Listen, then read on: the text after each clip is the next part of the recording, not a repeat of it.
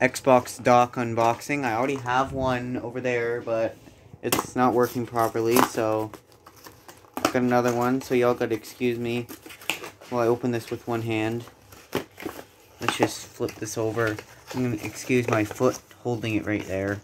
I'm trying to pull it out while I'm recording.